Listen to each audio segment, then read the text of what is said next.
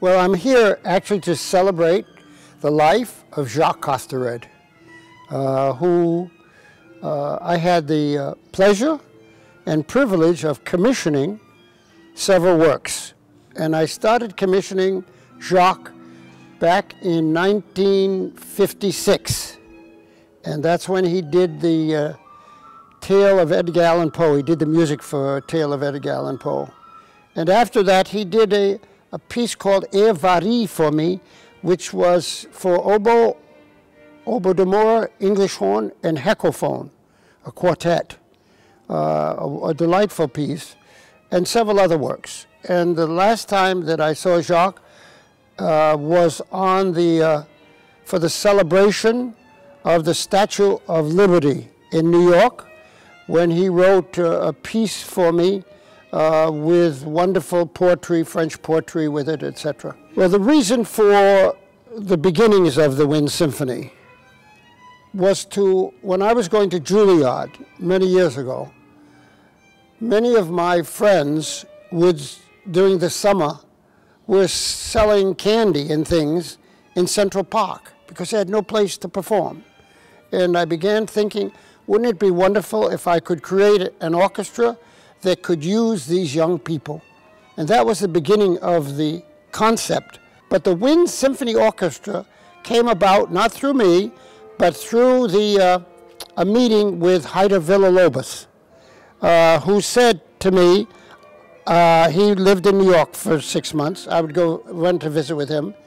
Uh, he spoke Portuguese and terrible French, and by that time I was speaking terrible French as well, so we both spoke terrible French together, but understood each other very well. And uh, he said, I only write for the winds of the orchestra. And that was the beginning of the whole concept of what a wind symphony orchestra is. Um, people talk about wind orchestra, but in essence they mean bands because they use euphonium, saxophones, etc. We only use the instruments like four flutes, four oboes, four clarinets, four bassoons, plus the brass and harp and piano, etc., and percussion. We, uh, and this year is sort of an unusual year. It's my 58th year this year. Uh, it's an unusual year. Last year I was auditioning musicians in Madrid. So this year uh, I have a, a, a, woman coming, performing from, coming from Madrid. Uh, I have one from Bogota, Colombia. I have two from Japan, one from Malaysia, and one from U.S. So I have six women now in my percussion section. It's the first time I've ever had six women in the percussion section. And on the boat, which we play, the Floating Art Center, they line up in front. All the percussion is in front. So we're going to see six beautiful, wonderful women playing percussion. So it's going to be quite wonderful.